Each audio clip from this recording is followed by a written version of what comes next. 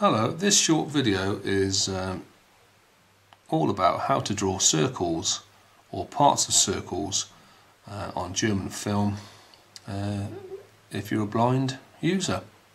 So, this is the compass we're going to use today. Uh, it's a standard sort of beam compass. This end is where the pen goes through and this end's the pointy bit. Okay, you've got two thumb wheels. I'll show you how to set it up. There's two thumb wheels on there. The first one just secures the pen. Do it up nice and tight so it can't move. And the second one secures the slidey bit there.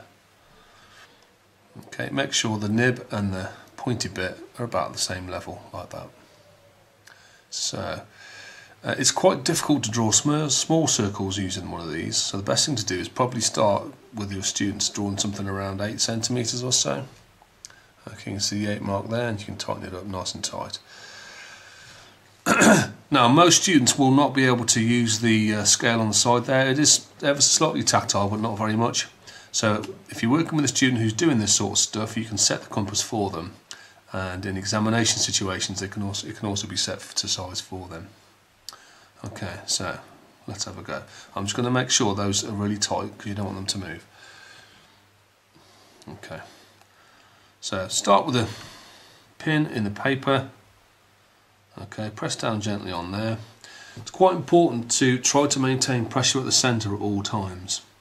Okay, because if the centre point moves, it's really difficult to find it again. So try to press down on that all the time. As before when using German film, lean the pen the way that you're going to go. I'm going to draw away from myself, so I'm leaning the pen slightly away. Okay, uh, press down and round we go. Hey presto. Now the tricky bit comes when students need to change hands. They've got to remember you can let go of this end but keep that end pinned down into the into the mat. Okay, and then change hands. Okay, they can find out where they've got to using the finger. Just continue from that place. Keep leaning the pen towards the way you're going. Uh, okay, time to change hands again. So keep hold of the, keep hold of the pointy bit. Change hands. Pick it up again. Off you go. And they'll sort of know they when they've completed. And that is how to draw a circle using a compass.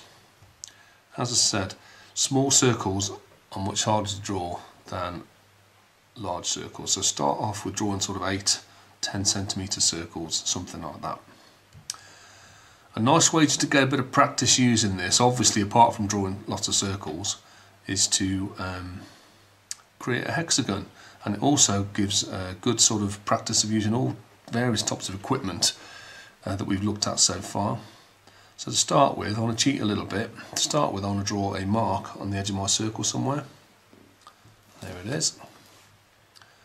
Okay, and I'm going to put the centre of my compass on it and draw a small arc of a circle just there. Okay, I'm going to move around to that position and draw another arc of a circle just there and so on and so on and so on. And you can sort of instill in the people you're working with the importance of being accurate. You should get back to where you started if they're anywhere near accurate. Okay that's a great way just to check and try to make make them maintain some sort of accuracy here. To finish off the hexagon quite simply place a pin on every cross point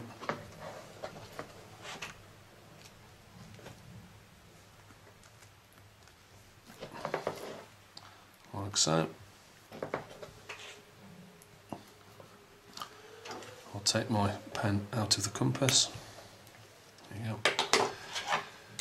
And then they can practice lining up spider legs and joining all the pins together.